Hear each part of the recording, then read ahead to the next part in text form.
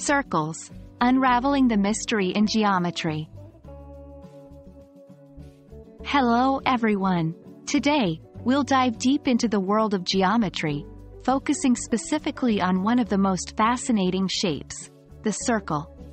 By the end of this video, you'll have a better understanding of circles and their properties, which will help you in tackling SAT math problems more confidently.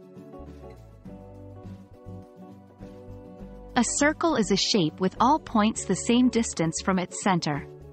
The distance from the center to a point on the circle is called the radius.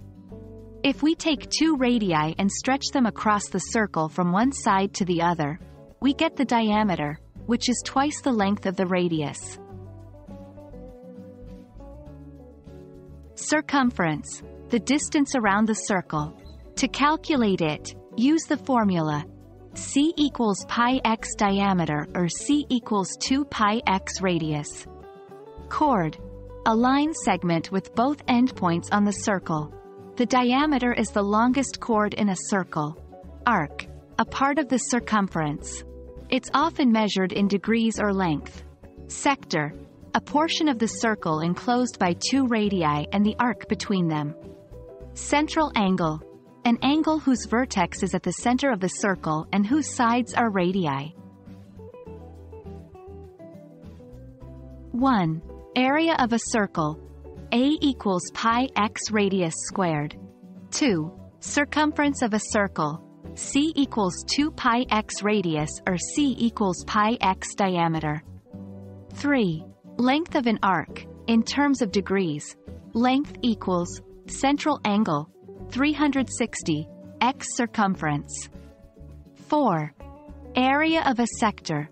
Area equals central angle 360 x pi x radius squared. Remember, in the context of the SAT, you might not always be given the value of pi. When you need to do calculations, use 3.14 as an approximation for pi.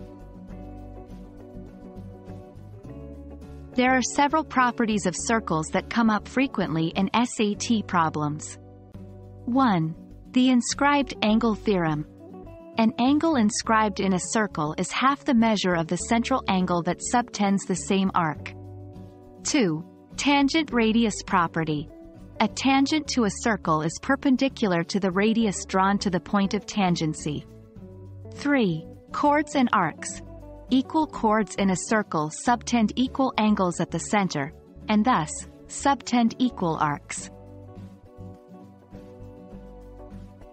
Circles are not only beautiful but also packed with intriguing properties.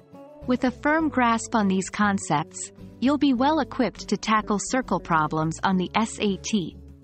Keep practicing, and remember, Geometry is all about visualizing and understanding the relationships between shapes. Happy studying, and may your efforts form a full circle of success.